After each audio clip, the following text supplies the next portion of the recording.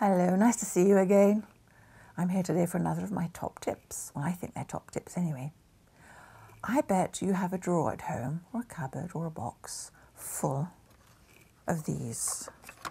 And by these, I mean empty boxes. You know, over the years, people buy you presents, Reuter boxes, which were full of lovely goodies at some stage or another. And I bet, like me, you think, what on earth can I do with them? Well, got fed up with mine, so I decided to do something with them.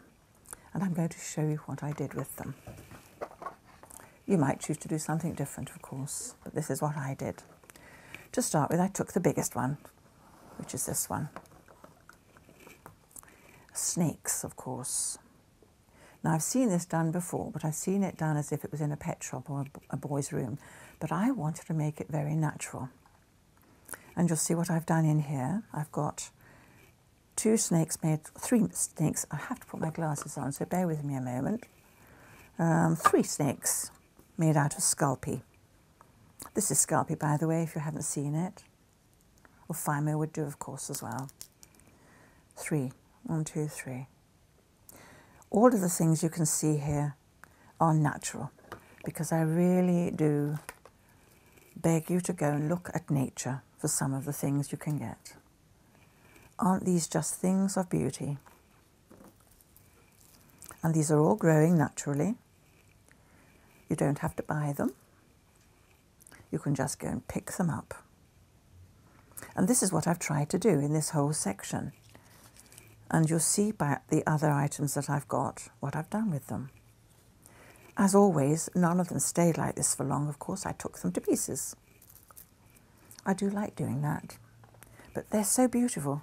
Nature, honestly, is amazing. So, coming back to this, the picture was cut out from a magazine. The little pieces of wood, what you can see, are these that I've shown you. This, of course, you will recognize it's some of that. And altogether, I think that looks very, very natural. That, of course, is going to go, when I, when I finished here, it's going to go on a stand to display. I then decided to make a second one in a smaller box, and the same thing applies. I made two snakes out of Sculpey. Very easy to do, by the way, just roll it, of course, and bake it. I painted them with um, acrylics, but I think you could probably use whatever you've got. Not sure about watercolours. I haven't tried that. I might do that. But everything in here is natural apart from the greenery. There's little bits of green where, just to add a little bit of colour. Now this is a good size. This one would fit in a child's room if they wanted snakes. I think the box is rather small for that myself, but it is a very natural looking setting. I then got rather silly, and I do get silly, and I thought, what can I make out of Fimos that might be interesting for you? So I made a fish. I'm not sure what fish it is. It's probably nearer a carp than anything, I think. But I got a book out and I made it flat. And if you see the sides, you'll notice it has a flat base. It's much easier to try to make it flat than to make it as a, as a whole object. It rolls around and doesn't do as it's told. Much easier anyway. And if I take the front off, you'll see what I've done.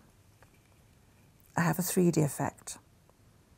So I have card at the back, a blue card, and the greenery you can see here is in fact this, all colours.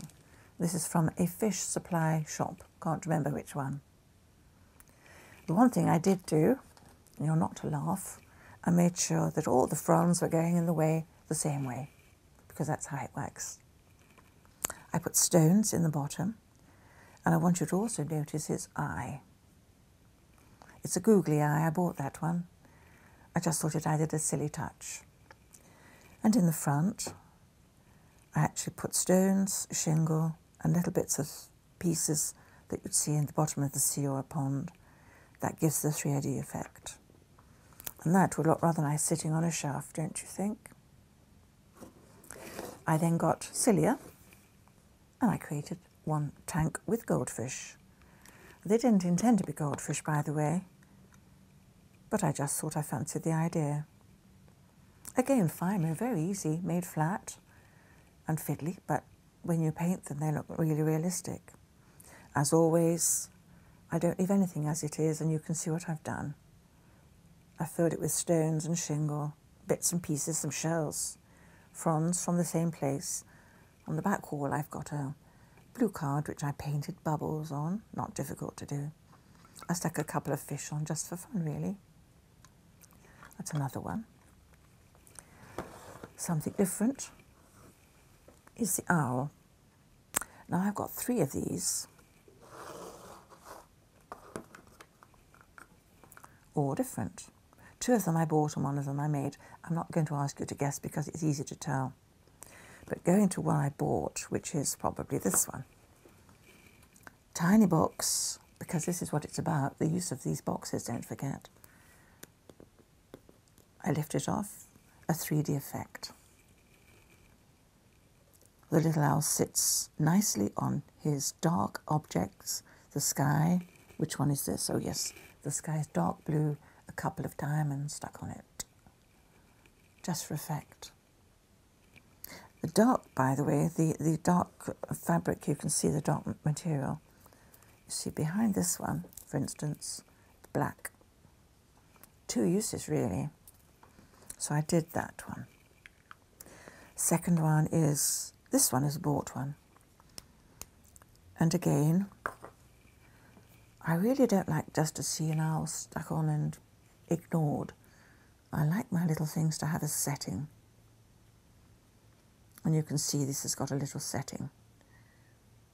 It's shiny, but it doesn't matter. It's rather sweet in there. I might give that one away. The one I made, now you're not to laugh at this one, because you've got more to laugh at later. This again is the dark sky, or oh, I stuck a starry, shiny star on that. We've all got those, haven't we? I made him again just out of a lump of a lump of Sculpey, painted him. I stuck two googly eyes on him. When I lift the front off again,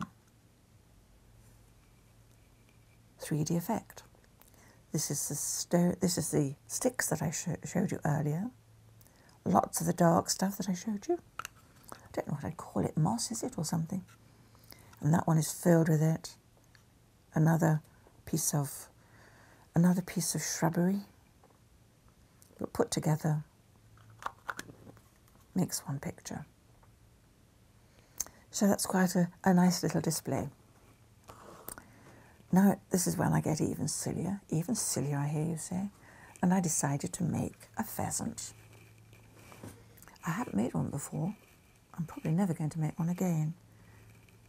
But I made it flat. And I fancy this one in the study, so I actually made this one out of wood. Just wooden sides. It's a cardboard back.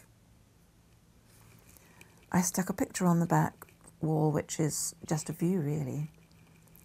The pheasant I made by making him flat, as I say. It wasn't very difficult. I was surprised, really. I took the picture from a book, a magazine, lots of those around. I painted him just following the directions, looking at the picture. And then I stuffed it full, as you can see, of the greenery, the same things that I've used in all of these. Back to nature. So have a go at pheasants because, it, or birds really, if you make them flat, you'll be surprised. This I'll stick on later, but that's going to go in the study. By the way, another thing that I, I meant to mention to you, these are of course thimble cases and I've shown you these before making flowers. In my other film about flowers I didn't show the finished job so I thought I'd let you have a look at that. This is how it was. You saw it part made I think but that was a finished finished thing. So these are things to do with containers. I then made the mistake of going shopping for my grandchildren, which is a disaster as we know, and I bought this. It's a dinosaur drum, I suppose, to make up. But I wanted the case, and you're not to laugh because I ended up with that. yes, I know, I'm mad. Let me show you what I did. I blame Joyce Dean for this, by the way. She has a video out of how to make hats and things. And some of her hats have feathers on them, so I bought a bag of feathers. I couldn't quite think what to do with them. I had enough hats after all.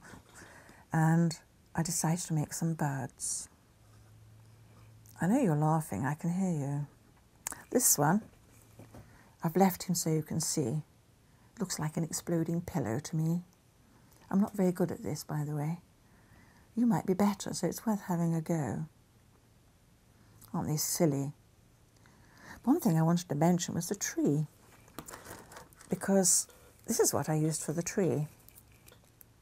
I literally took a bundle of wire, and it can be any length if you want a tall tree or a short tree, and I just wound them round firmly to create a trunk, leaving enough at the bottom to fit in my container, which is this one. If it's in a garden, of course, you, it doesn't matter what the size is.